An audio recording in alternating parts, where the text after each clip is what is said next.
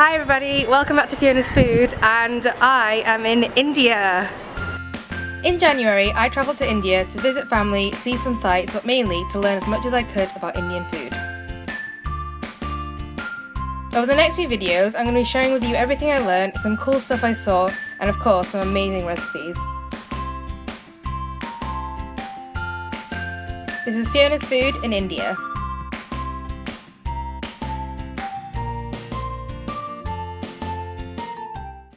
Everybody, welcome back to Fiona's Food and this is episode 2 of my India series. So this episode is all about fish and there is lots of footage of fish, dead and alive. So if you don't like fish, and I know a lot of people don't, then this video probably isn't for you and instead you can click over here and you can watch a video of me making some cookies. But if you do like fish and you'd like to learn a traditional Bengali fish recipe, then keep watching.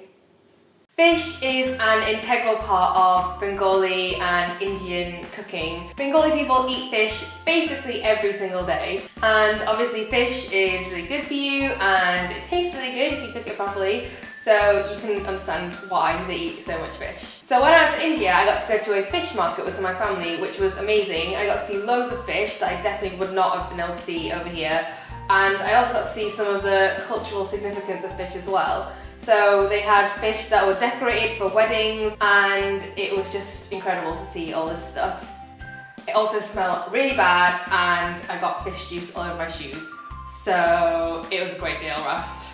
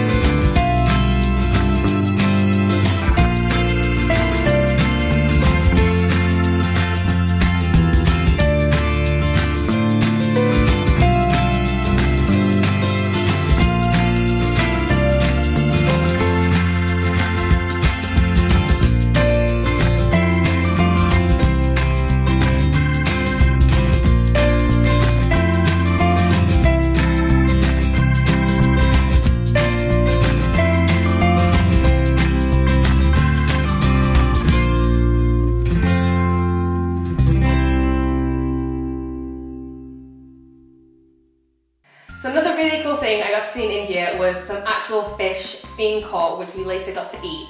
So some of my family live out in a tiny little village out in the middle of nowhere and they have their own pond where they catch fish which they live off of themselves. So while we were there we got to see the catching of the fish. So what they do is they get guys from the village to come down, literally get into the pond with the fish and essentially drain the pond using a net and catch as much of the fish as they can. It was really, really cool to see. I think they were mainly doing it for the benefit of me and my sister so we could see it and video it, but it was so cool. The guys who were doing the catching were actually a little bit confused as to what was happening, like why we were telling them to catch the fish and then put them back in the water. But they were fine, they were good sports and they let me take loads of pictures and videos and here they are posing with the fish.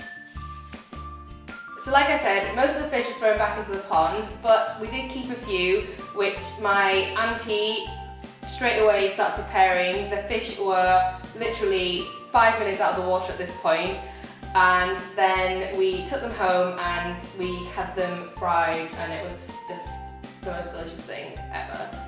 So this isn't quite fish related, but while we were there, as well as catching their own fish, the, my family who live in that village also have coconut trees and as well as catching fish, they get guys from the village to climb the trees and basically pick coconuts off the top of these trees and it's amazing and terrifying at the same time. So me and my sister and my cousins were standing at the bottom of this tree watching this guy drop these coconuts and we were kind of terrified we were going to hit my head and also I was really scared that like I was going to fall. It's, coconut trees are really tall.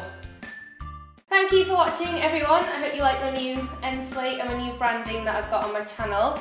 If you like this video then please give it a thumbs up if you want to see the first video from my India series, then you can click on the link over here, or you can click over here to watch my last video. If you haven't subscribed to Fiona Food already, then please do, and I will see you all very soon.